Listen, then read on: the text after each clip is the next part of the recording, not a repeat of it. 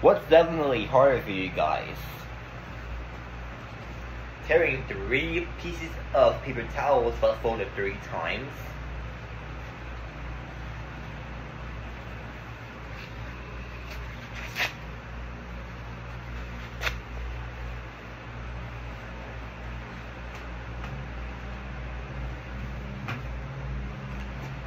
or flipping or flipping a pancake box five times.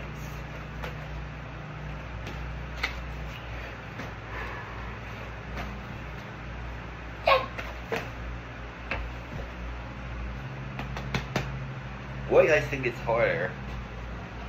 I need you guys to tell me which one's harder.